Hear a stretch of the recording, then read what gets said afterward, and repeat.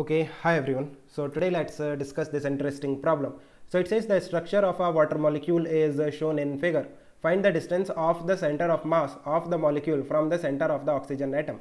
Fine so so, इस तरह से हमारे पास ये ऑक्सीजन एटम है ये दो हाइड्रोजन एटम है हमें सेंटर ऑफ़ मास का डिस्टेंस निकालना है from the oxygen oxygen atom से कितना डिस्टेंस है सेंटर ऑफ़ मास का फाइन सो so, अगर मैं इस तरह से एक लाइन ड्रॉ करूँ आप देखो ये जो लाइन है, ये सिम ये लाइन ऑफ़ सिमेट्री है फॉर दिस मॉलिक्यूल और सिमेट्री कैसे चेक करते हैं? देखो, जो आधा पार्ट है that is the mirror image of the other part so centre of mass कहाँ पे लाई करेगा?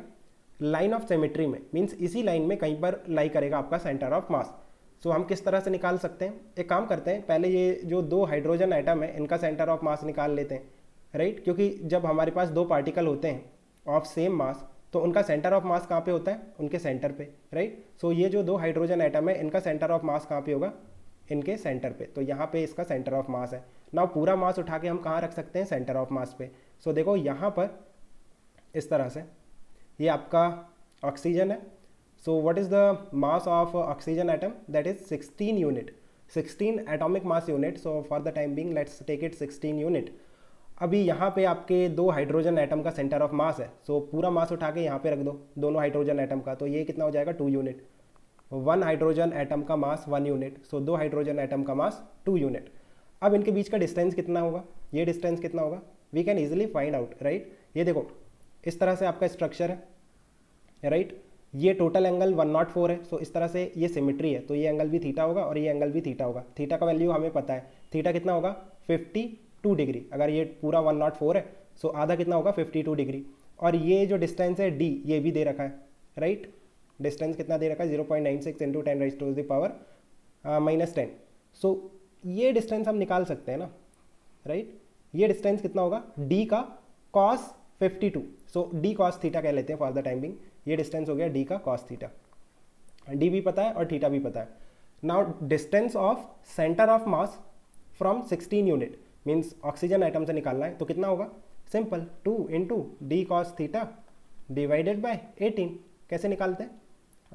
Let me tell you let's say हमारे पास दो पार्टिकल हैं लेट्स से एम वन और एम टू और मुझे चाहिए distance of centre of mass from M one M one से distance of centre of mass होगा एम टू डी डी क्या है? Distance between the two particles right so distance of centre of mass from M one will be M two D upon M one plus M two अगर मुझे distance of centre of mass निकालना है from M two so वो कितना होगा?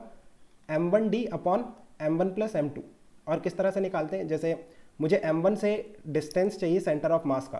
सो so मैं M one को origin पे मान लेता हूँ। मीन्स यहाँ पे X is equal to zero है।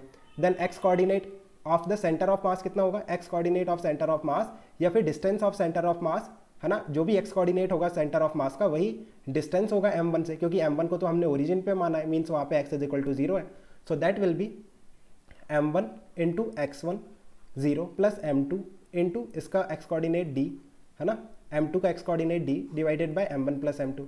This is the X coordinate of centre of mass which which is also the distance of centre of mass from M one right so that will be M two D upon M one plus M two so आप इसे याद भी रख सकते हो इस तरह से निकालते हैं राइट सो so, वही मैंने यहाँ पे लिखा है। मुझे यहाँ से डिस्टेंस चाहिए सेंटर ऑफ़ मास का। सो so, इसका mass that is two into ये पूरा distance D cos theta divided by sum of the mass means M one plus M two sixteen plus two which is eighteen so ये आ गया आपका D cos theta by nine right so इस तरह से निकाल सकते हो। आपको डी पता है थीटा पता है सो so ये वैल्यू आप इजीली फाइंड कर सकते हो।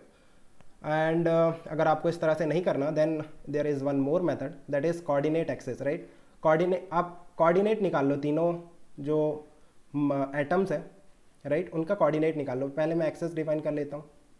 ये एक्स एक्सेस है।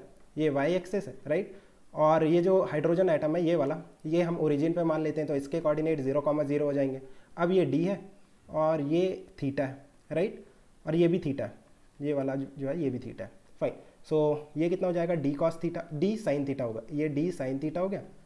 यहाँ से लेकर यहाँ तक। और ये भी डी होगा राइट सिमेट्रिक है।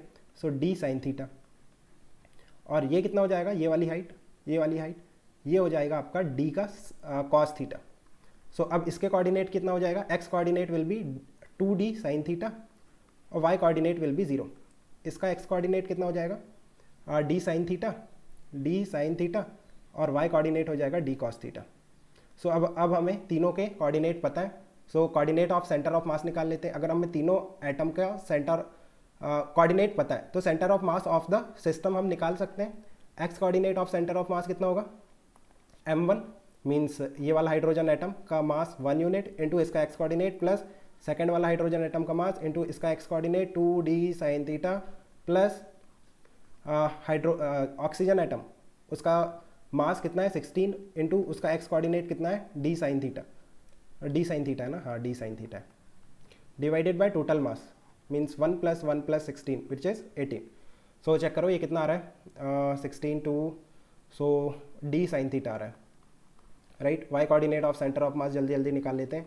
वन इंटू इसका Y coordinate zero plus second वाला हाइड्रोजन आइटम उसका भी वाई कोऑर्डिनेट ज़ीरो है ऑक्सीजन आइटम इसका वाई कोऑर्डिनेट कितना है? D cos theta divided by total mass eighteen so check करो कितना आ रहा है ये eight by nine into D cos theta right so ये वाई कोऑर्डिनेट है। सो so, अब distance between the two points निकाल सकते हैं ना। अगर हमें उनके कोऑर्डिनेट पता है देन इजीली आप distance between the two points निकाल सकते हो। सो so, देखो ऑक्सीजन एटम के कोऑर्डिनेट पता है और सेंटर ऑफ़ मास के कोऑर्डिनेट पता है। By the way centre of mass का एक्स कोऑर्डिनेट आप देखो डी साइन थीटा होगा। चेक करो X coordinate D sine theta है। मीन्स दोनों का एक्स कोऑर्डिनेट सेम है। अब एक्स कोऑर्डिनेट सेम है तो सिंपली वाई कोऑर्डिनेट का डिस्टेंस वाई कोऑर्डिनेट का डिफरेंस निकाल लो। That is the distance between the two points means यहाँ पे डी कॉस थीटा है वाई कोऑर्डिनेट और यहाँ पे वाई कोऑर्डिनेट कितना है? Eight by nine so distance कितना होगा? D cos theta minus eight by nine of D cos theta so check करो again you will get D cos theta by D d cos theta by nine right so same आएगा theta uh, पता है और d पता है so we can find out the numerical value so i think it's clear let me know if you still have any confusion okay guys keep working hard best of luck bye